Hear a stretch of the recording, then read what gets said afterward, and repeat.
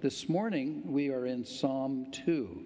And uh, as we just started last week with Psalm 1. So if you'll open to Psalm 2, please, and stand with me and let me read to you. If you do not have a Bible, and I sure encourage you uh, to get your own Bible. The Bibles we sell in the bookstore are priced, I believe, at the lowest price you'll find anywhere in town. And if you cannot afford a Bible, we will be more than happy to give you a Bible. But Psalm 2 is where we are this morning. Let me read it to you, and then um, we'll pray and get into this teaching here. Why do the nations rage or throng tumultuously, and the people plot a vain, worthless, or empty thing? The kings of the earth set themselves, and the rulers take counsel together against the Lord and against his anointed, or the Messiah, or Jesus, saying, let us break their bonds in pieces and cast away their cords from us. He who sits in the heavens shall laugh. The Lord shall hold them in derision. Then he shall speak to them in his wrath and distress them in his deep displeasure. Yet I have set yet I have set my king on my holy hill of Zion. The Lord has said to me, You are my son. Today I have begotten you. Ask of me, and I will give you the nations for your inheritance, and the ends of the earth for your possession. You shall break them with a rod of iron, you shall dash them in pieces like a potter's vessel. Now, therefore, be wise, O kings, be instructed, you judges of the earth. Serve the Lord with fear and rejoice with trembling. Kiss the Son, lest he be angry and you perish in the way, when his wrath is kindled but a little. Blessed are all those who put their trust in him. Let's pray, please. Father, thank you so much for the blessings of this morning, even up until this very moment. We appreciate it. We thank you, Father, for your love that cannot be separated. Nothing can separate us from your love. Thank you, Lord, that you rejoice over us in your love Thank you, Lord Jesus, that you went to the cross for the joy that was set before you, knowing that you would bring many sons unto salvation. And so we thank you, those of us who have come to you, we thank you, Lord Jesus, for saving our souls, giving us eternal life, making us joint heirs with you. We also thank you, Father, for our teacher, the Holy Spirit of God, who can give to us the spirit of wisdom and spiritual understanding as we look into the Word of God. And we pray for that this morning. We ask that He would testify of Christ and magnify Jesus. We ask, Lord, that He would reveal to all of us the will of God within our lives. We pray for any here today who have not yet been blessed to receive the gift of salvation and ask, Lord, that you would pour your goodness into their lives, their mercy, open their eyes, and reveal the love of Christ to them, the salvation of God. We ask these things in the name of Jesus. Amen. You may be seated. Psalm 1 and Psalm 2 actually set the tone for the rest of the book of Psalms. Psalm 1 opened with a beautiful statement, blessed. Psalm 1 ended with the reality of the judgment of the ungodly. Psalm 2 opens with a description of the ungodly and it ends with a promise for those who put their trust in God. The difference between these two Psalms and the rest of the book of Psalms has been called, Psalm 1 has been called the law, Psalm 2 has been called the prophets, the law and the prophets, a statement used uh, frequently in the Bible to speak of the entirety of the Bible.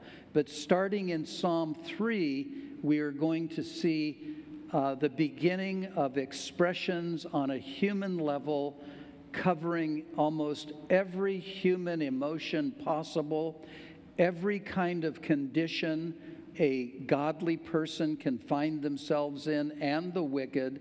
It is overflowing with comfort it's overflowing with the realities of fear, the challenges of life, and the wonderful comfort of God. But here in Psalm 2, it's divided into four particular sections where, first of all, we have a description of society in its rebellion against God. We then have God speaking very directly about them. And we then, thirdly, have Jesus Christ telling us what his Father told him. And finally, we have the Holy Spirit extending an invitation to the people who are mentioned in this psalm, which is mankind in general. But the first part asks some questions about humanity in general verse 1 says, Why do the heathens rage? Why are the heathens raging? And the word rage there means to throng tumultuously, like the, the raging of an ocean. What a good question. Why do the nations rage? And when you think of nations today, large nations, smaller nations, etc. Why are they in such an upheaval? And secondly, the people plot a vain thing. Why do people plot a vain thing? And the word plot there is a word which speaks of, uh, it speaks of worthless emptiness, and it communicates the activities of people who are complaining and discontent. So, right off the bat, he's saying, Why, is, why are nations like the, the waves of the sea never settled? And why are people complaining? Why are people uh, not content? Why are they trying to come up with plots that are actually worthless and they're actually empty?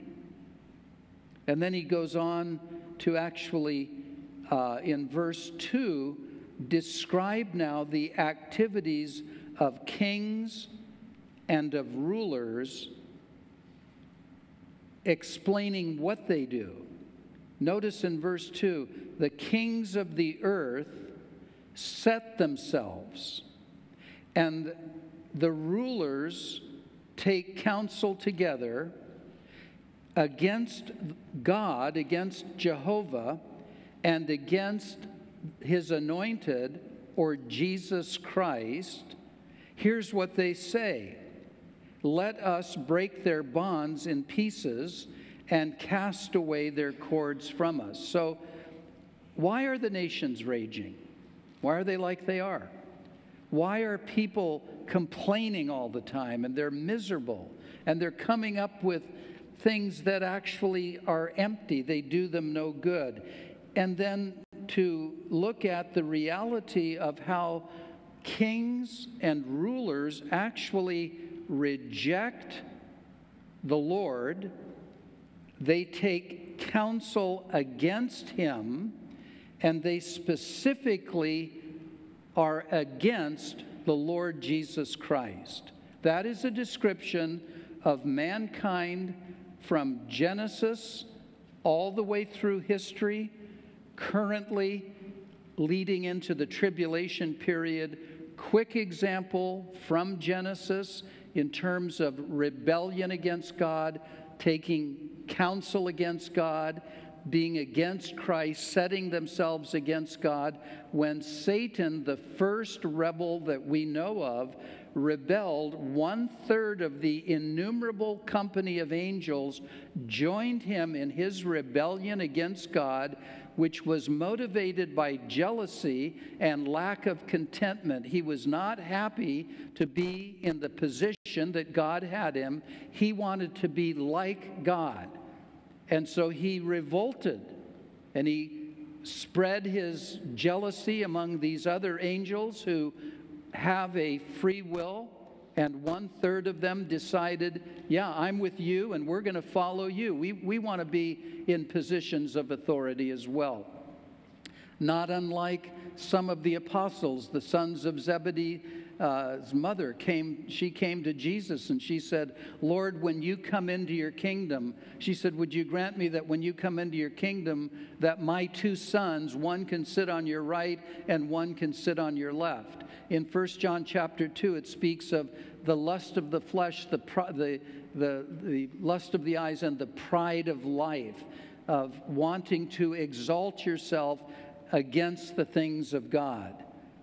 And so, right there in Genesis, Satan came into the picture with Adam and Eve, and he seduced Eve. The Bible tells us in one of the pastoral epistles that Adam knew exactly what was going on. He failed to protect his wife as a husband should do. He just let this whole thing happen, and sin entered the world, we're told in Romans 5 through uh, Adam. But right away, as the devil began to, to speak ill of God and to say God didn't mean what he said, Eve rebelled against God, who had told the both of them, Listen, you can have whatever you want here except that one thing don't eat of that tree.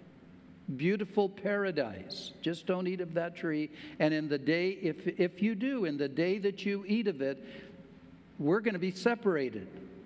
And ultimately, you will physically die. And the devil said, That's not going to happen. And so she ate of that tree, and immediately you find them uh, hiding from God, whereas they had been walking in the cool of the day with the Lord and enjoying His presence, and how happy they must have been, and how happy God was with His creation, everything He created. And He says, and it was good, and it was so good. He had created Adam, and He said, it's not, it's not good that He's alone. He created Eve, and, and well, then the Lord later said, Well, I don't know if all that worked out exactly. No, Delete. gone, gone, gone. Little side joke, but it's reality because of sin. And then what did one of their first two children do? Cain would not come to God on God's terms. He rebelled against what God had laid out, which is grace and faith and he came to God based on his own works. And even after being corrected, he refused to accept the correction. He wound up murdering his brother. That rest of that chapter talks about a guy named Lamech who raised himself up and became a mean ruler, and then the Tower of Babel and exalting themselves. And, and then you see all of the different stories, the different narratives, and Pharaoh in Egypt, and all of the, the cruelty, the deliverance of the people going into the promised land, and their obedience and the blessing of God, their disobedience and the, the curse of God that He said would happen. You'll be in trouble, and they would then call out and be delivered. And then the the, all of the major prophets, the minor prophets coming down to the people, always pleading with them don't walk in opposition to God, but come to Him. He loves you, He wants to bless you, He will bless you. And how they rejected the prophets and told them, shut up, and they killed some of them. And then God said through one of the parables, surely they'll, they'll take my own son when I, I'll send my own son to them. And of course, he came unto his own, and his own received him not. They crucified him. They said, Away with him, away with him, crucify him. And they rejected Christ. And then in, all through the epistles in the early church, you see uh, those coming into the church perverting the word of God, rebelling against God. And then as you get into the book of Revelation, you see now the judgment, the final judgment of God coming upon mankind, such as never has been nor never will be, and then the beautiful 1,000 year reign of Christ with peace on the earth.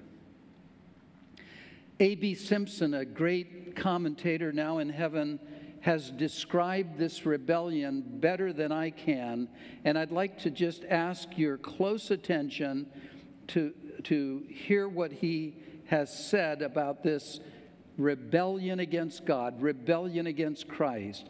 He says, This is the spirit of lawlessness which in every age has resisted the authority of God and is culminating today as never before in a thousand forms of license and lawlessness and which is to reach its full development in the coming of the Antichrist. We see it in its most extreme forms in the anarchy and socialism of our age and the revolt of men against every form of government and religion. We see it next in the democratic tendencies of our time. We see it in the bold antagonism of many to the authority of the Christian religion and the popular demand for a freedom that ignores the Lord's day. I don't know if you saw Bernie Sanders the other day questioning and just berating a man about his faith who has a constitutional right to have the right, the freedom to religion. And Mr. Sanders was violating his office as a senator, belittling this man, trying to mock him about his Christian belief. He was trying to embarrass him, and, and I, hopefully he's going to be sanctioned by the rest of Congress. But right on television here, just the other day, and read, I read something quickly on the TV last night or this morning. Some, the craziest thing, is some, some student somewhere now got in big trouble because he, he had a Bible in his backpack. I mean, these things are really, really, really happening.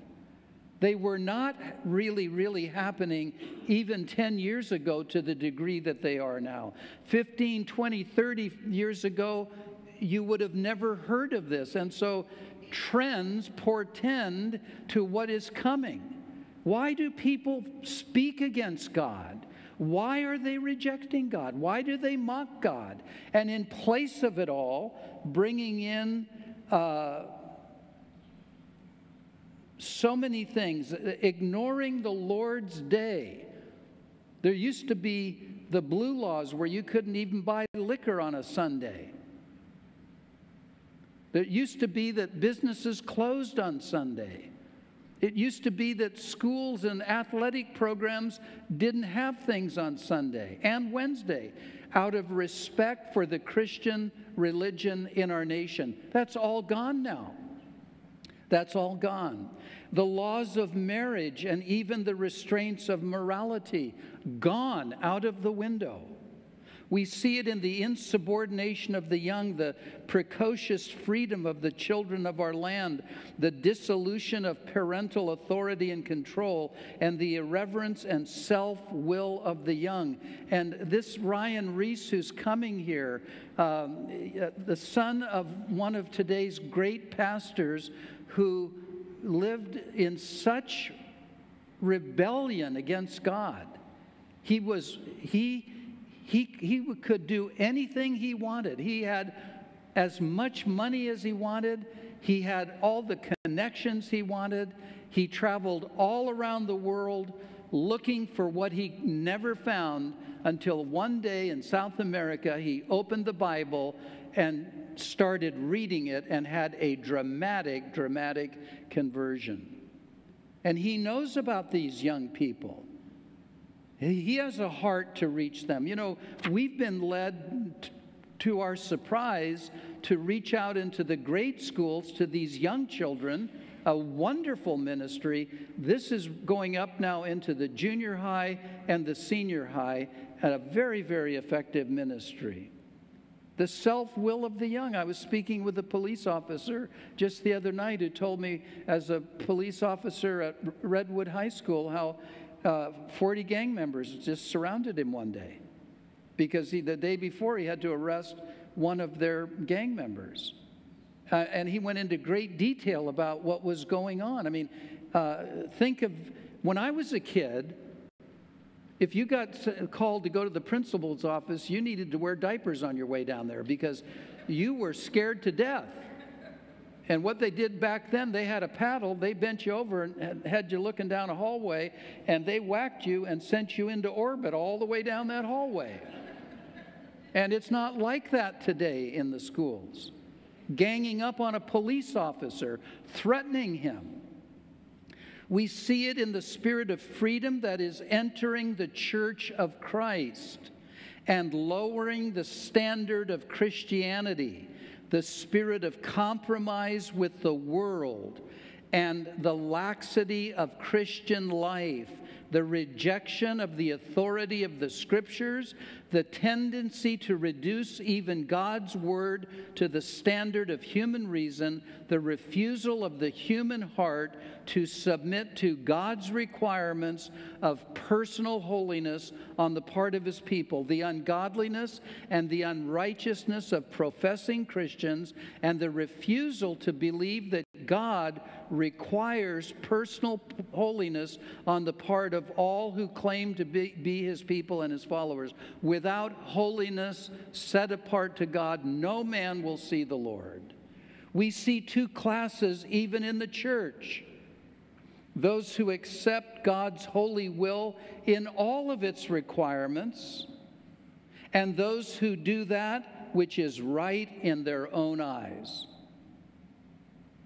The, the age is rapidly drifting into license and lawlessness, and we need not wonder at the bolder forms that the daring infidelity and wickedness assume in defying the very authority of heaven and claiming that man is able to be God unto himself, we shall see yet greater things than these.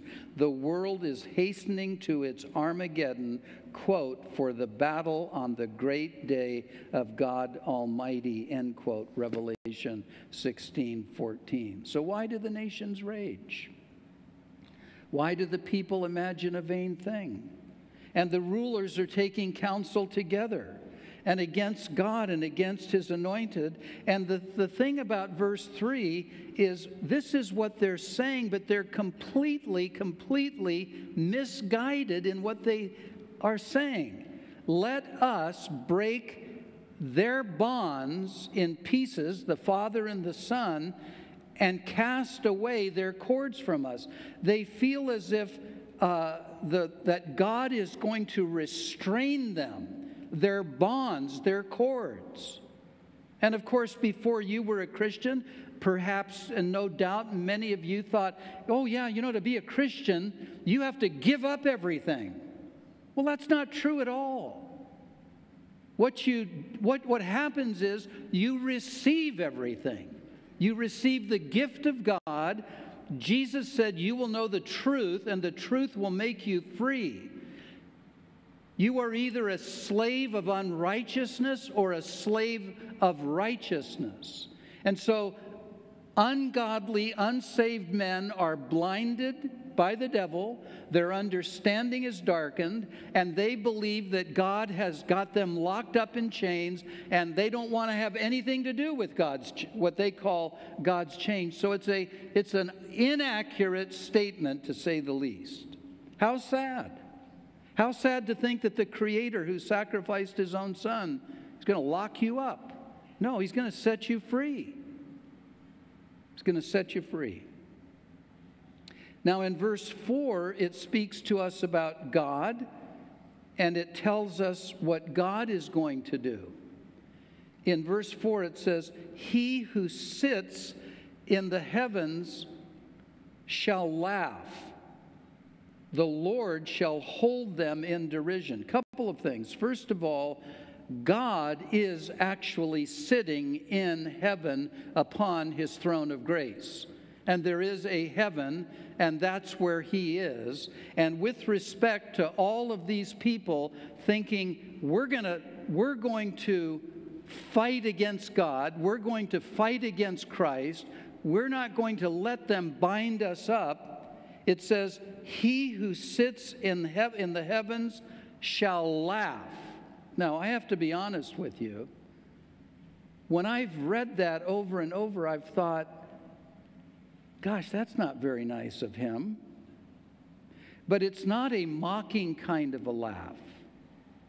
It's kind of like saying, Really? You're going to destroy me? Really? Huh. It's, it, it has that kind of a thing. I mean, is there anybody here, of course, anybody here who says, I can whip him? No. Anybody? Well, what about if all of us together, look, let's make a big army. Can we whip him together? Of course not. So God is looking at the rebellion of man and he's saying, it's, it's, it's, you know, he, he laughs. That's all you can say. God never does anything wrong. He's not demeaning them. It doesn't mean he doesn't love them, etc., etc. But it's, it's how foolish to think that you can rebel against God and get away with it and find yourself in wherever you think you want to be when it's all said and done. Then it says in the last part of verse 4 the Lord shall hold them in derision or in contempt or accountability. You know, if you were in a court of law and you didn't obey the order of the judge, you're held in contempt. You violated the law. You're responsible to then pay whatever penalty is, you know, assigned to you. God is holding people accountable for their rebellion. And, and listen, He isn't doing it with joy or happiness. He takes no pleasure in the death of the wicked, no pleasure at all. His desire is that every man would turn to Him and come to repentance and be saved. But if they won't, he holds them accountable.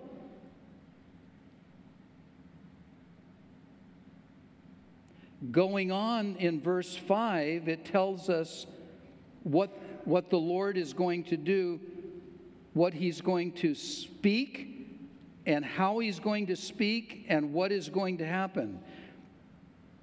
Then he shall speak to them in his wrath. Now, so this is now taking us into the book of Revelation.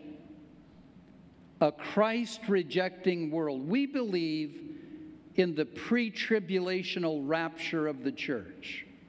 We believe God is going to remove his church before the tribulation of God is brought to the earth. God is going to speak to a Christ rejecting world in his wrath. That's how he's going to deal with them. He's going to, it's the wrath of the Lamb of God. And the, then he shall speak to them in his wrath and distress them in his deep displeasure. It is, it's not pleasing to him. Man is going to be so distressed half or more of Earth's population will perish during the tribulation. Famines, lack of water, plagues. What distress man is going to be in. And if you don't believe it, if you don't think it's going to happen, you have to ask yourself this question do you believe that Jesus Christ is God? Do you believe that Jesus Christ, if he is God, then you would have to acknowledge that he cannot lie? Then, if you study the words of Jesus Christ, you will know he is the singular, most vocal person in the entire Bible about hell. He speaks about these matters. So you can't pick and choose what you like out of the Bible. God is going to speak to a Christ rejecting world in his wrath and distress them in his deep displeasure. And then in verse 6, he continues to speak and he says, Yet, and this is going on with prophecy, yet, or in spite of all the rebellion, and then in spite of the tribulation, yet I have set my king on my holy hill of Zion. He's speaking prophetically about the fact that when Christ returns to the earth, he is first of all God's king. God is setting him as king, ruling from Jerusalem in the new temple for 1,000 years. So, regardless of what man does, God's going to do what he's going to do. And you and I will be there. Oh, what a happy day. Andraé Crouch used to sing, Oh, happy day. More, it's, it's happier than we can even imagine. In fact, I'm going to sing it for you right now.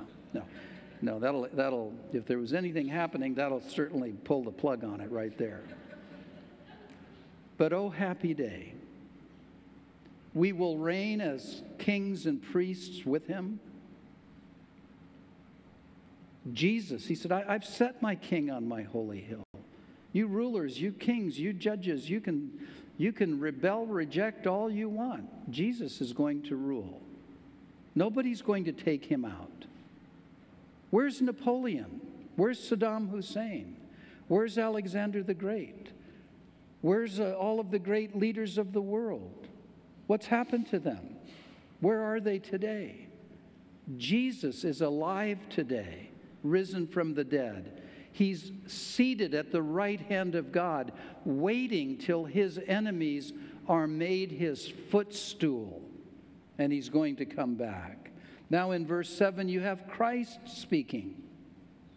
I will declare the decree. Says, I'm going to tell you what God has said, what God has decreed. And by the way, uh, when God decrees something, it's, it's not subject to change, modification, revisionism. It can't be negated. It can't be uh, undermined. It can't be removed. It's a, have I not spoken and shall I not do? So Jesus says, I'll tell you what, what he said. I will declare the decree. Here's what, here's what the Father said to the Son. He said, Ask of me, Jesus, ask of me, and I will give you the nations for your inheritance and the ends of the earth for your possession. Ask me. Son, I'm sending you as a lamb to die for the sins of the world. But I'm going to send you back as the king of the world. And of course, it's this is inside information. And it's, and it's the plan of God really being put in question for me. Hey, what would you like? Ask of me. I'll give you the whole world. Do you remember what Satan said to Jesus when he tempted him? He said, Listen, if you'll just bow down to me, I'll give you all the kingdoms of the world. He knew what was coming. He said, You don't need to go to the cross. I'll, I'll give you all the kingdoms of the world. He could have given them to Jesus within the restricted power that he had, but eventually it would, it would crumble. Ask of me, and I will give you the nations for your inheritance. By the way, and the ends of the earth for your possession. I'll give you the whole world.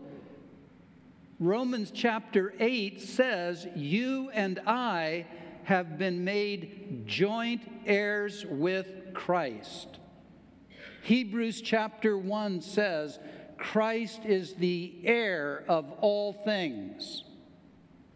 So if he is the heir of all things and we're joint heirs with him, it does not mean that God's going to because the pie would, how could you slice a pie up to give everybody an equal part? I mean, it just seems like it does, but that's not what it means. It just means that everything he has, we have also.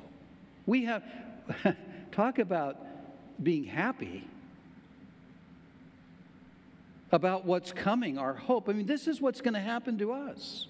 Our Lord is going to, He's being set king there in Zion, Jerusalem, Israel. Ask of me, I'll give you the whole world, the ends of the earth for your possession. And we are joint heirs with Him. This is our hope. Paul said in Romans 5, rejoice in hope of the glory of God. You know, somebody somewhere must have heard it from the devil. They said, Oh, that person's so heavenly minded, they're no earthly good. Now, I would admit that there are people who maybe there's something wrong with their minds to begin with. I mean, I wouldn't know about that. but in reality, the more heavenly minded you are, the more you study about where you are going, that is your eternal home, the more you learn about what God has in store for you, it has a powerful effect upon your living here upon the earth. 1 John chapter 3 He that hath this hope in him cleanses himself even as he is clean. Didn't quote that quite right. Purifies us. Oh, the police now, they have these sneaky cars. Nothing on them. The lights pop up on the dash. I mean, if you, if you, you know, some people drive 80 looking in the rearview mirror and you can spot the, the Ford Explorers. You, you know, if you really watch it, you can see them and look. And if you watch, now again, this is research on my part. Just like Joel here, I'm doing a thesis on it. One of them got me recently. I was just in a hurry and the, the reason he got me wasn't because I was in a hurry. I was actually going the same hurried speed that everybody else was, but they were going too slow for my thought. So I went from the far left lane across six lanes in a blue car, which there aren't many of those around. That's what caught his attention. I got back in the far left lane. I thought, okay, all these slowpokes are behind me. And I looked up there and I thought, oh, there he is. Lights going. We pulled over. And I was so polite. I mean, I was, and very genuine. I, I safely pulled over, went way off the shoulder, rolled the window down, took my driver's license out, and uh, I said, yes. You're wrong. No, I didn't say I said, Yes, I was speeding. And he, he was just smiling the whole time. I thought, That's interesting. He's just smiling away at me. And so he kind of asked me who I was, and he saw different things in my car, and I told him, and he said, Okay. He came back and he gave me my license. He said, he said, now as you speed off, and I thought, what? As I speed off, he meant get speeding so you can get on the highway at the right speed. I, I did not get a ticket, and I know where he hides now. and and I travel back and forth there, and I'm I bet you he sees me a lot and says, "Oh, there's that guy." I tell you all of that to say if you're wondering if I've just lost myself in an illustration, which has happened on occasion. If we know where we are going and we're living in that living hope, it's part of our life. It affects the way we live down here. If you have a police officer driving behind you, do you just speed or do you are you Mr. Good Citizen? Pretty simple, right?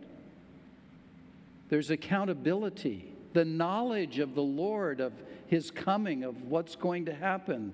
So be as heavenly minded as you can be. You will be the most earthly good. And on the reverse side, people who do not know much or little about where they're going. They don't understand where they're going. They think heaven is boring. They think we're just going to play harps and sit around. And, you know, that doesn't sound very much fun. And I would agree. That, has, that is not even nothing. That's not part of where we're going. That's not anything to do with heaven.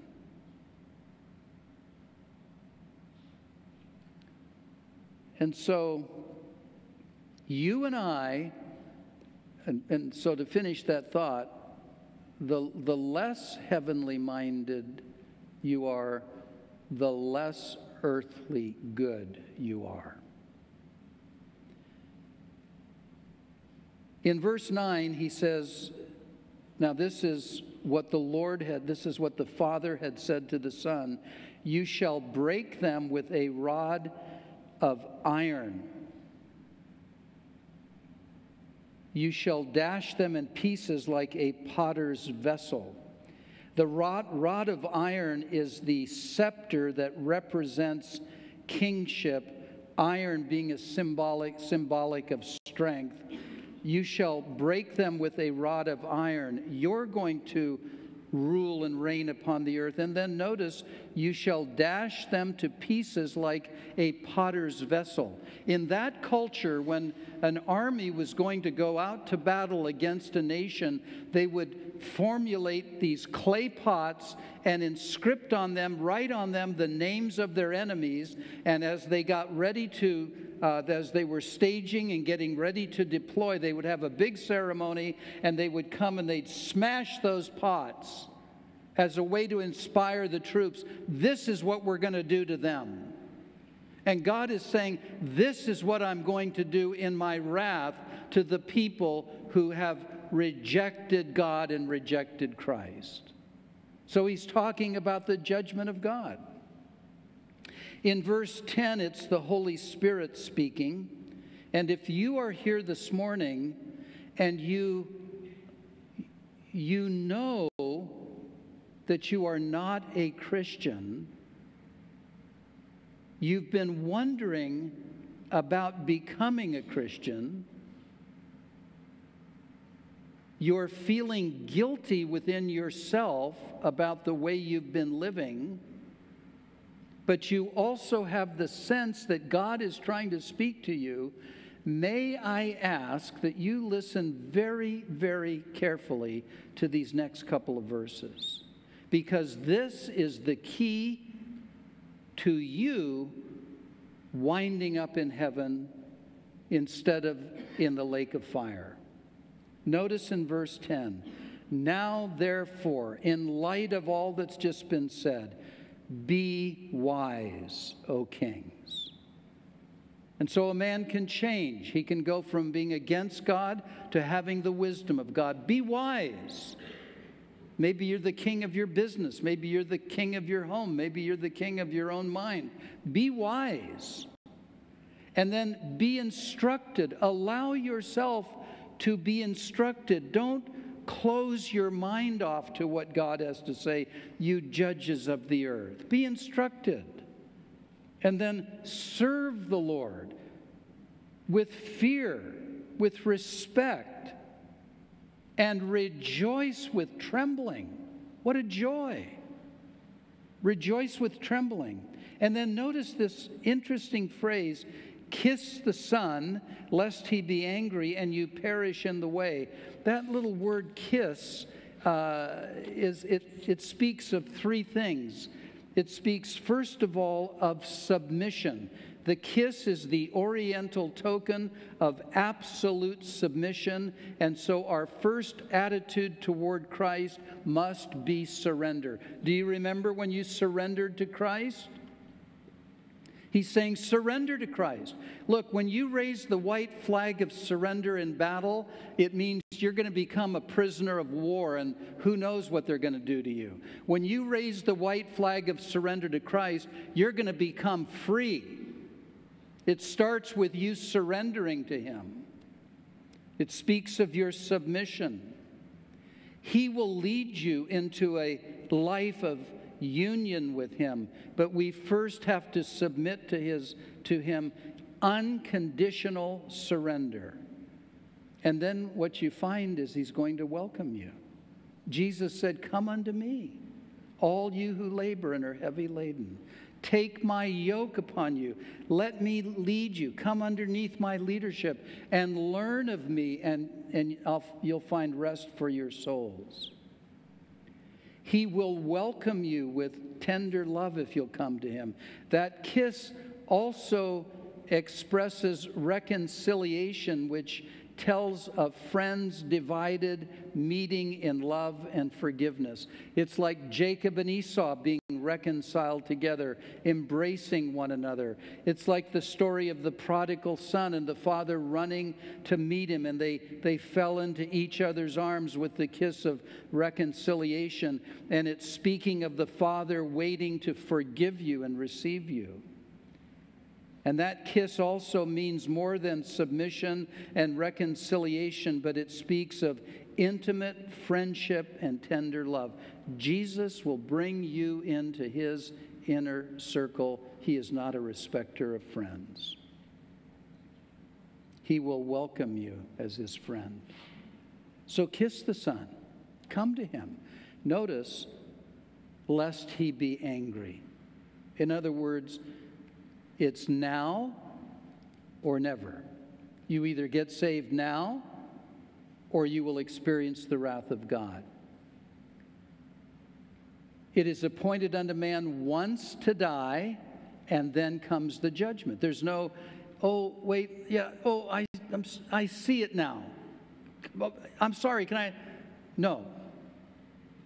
Kiss the Son, come to Christ, lest his anger against sin comes upon you and you perish in the way. First part of Jesus' first sermon, he said, he said, repent or you will perish.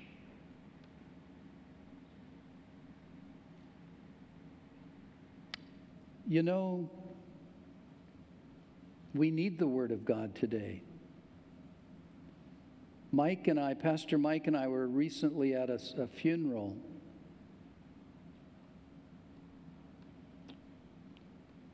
Was so sad. The Bible was never opened. Nothing even close to the gospel was presented. It troubled us during the service. It troubled us the rest of the day. I later spoke to some other folks who had been at that same service. It troubled them, it was troubling.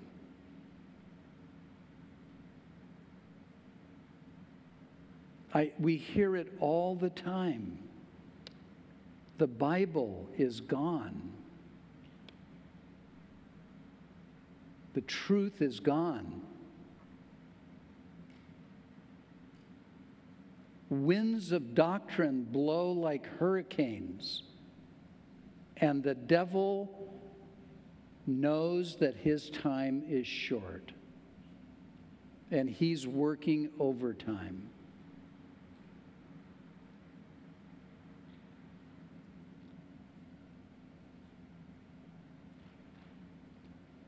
Lest you perish in the way, notice when his wrath is kindled but a little, just a,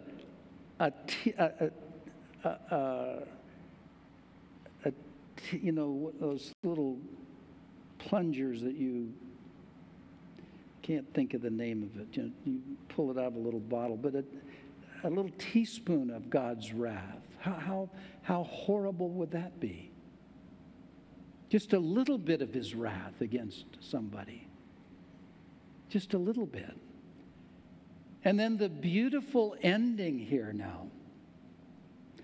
Blessed or oh, how happy are all those who put their trust in him. And it's the happinesses, plural. That's literally the way it reads. It, and it's an exclamation of great emotion. Oh, how happy are people who've trusted God. You know, when Joel was standing here talking about Vietnam, I asked him first service, Are you going to go by Da Nang? And he said, Oh, yeah, I'll go right. And I said, Well, look for Marble Mountain and Monkey Mountain. I was 12 miles south of Da Nang. And I was thinking back, uh, we used to call it when you were there and you watched the 747s fly over, we'd say, Oh, yeah, they're going back to the world, we'd call it. And I, I was thinking in my own life, way back then, what, uh, praying for somebody in a church going back to Vietnam, of all places, and of all that's transpired in my life, and of how thankful I am for my life, and as imperfect as I am, and just with you in this walk. Oh, how happy! The happinesses And if you don't think God is happy, let me back up because this kind of rocks people's boats when you say, Do you know that God is happy? Was really? I thought he was kind of mad. He's kind of angry.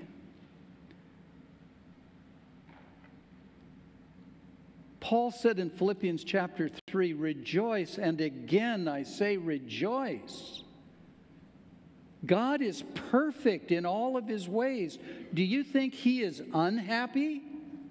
Do you think Adam and Eve were walking around saying, Man, that unhappy guy, he created us and oh, it's terrible. No. And can you imagine all, all, when you start reading your Bible, look for all the times where it says, rejoice, blessed, happy. It'll, you know how when you buy a Honda for the first time in your life, you see Hondas everywhere, right? You start looking for the word rejoice or bless, it's everywhere in the Bible, but it's in our culture for various reasons. The happiness of God has not been something. Have you ever heard a sermon on the happiness of God? Anybody? I doubt it. You're here, you could raise your hand now, you're hearing a little mini one. could you imagine how, ha- how happy are you going to be to go to heaven? You're going to be happy? So, can you imagine we all show up in heaven grinning from ear to ear, and we look up and there's God going, You're going to be with me forever. Doesn't make sense, does it? Jesus went to the cross for the joy that was set before him. Jesus said, I came that you might have life and life more abundantly, and that your, my joy might be fulfilled in you. He said, My joy. And in his priestly prayer in John 17, he talked about rejoicing in the joy that I had with you before I came here. Oh, how happy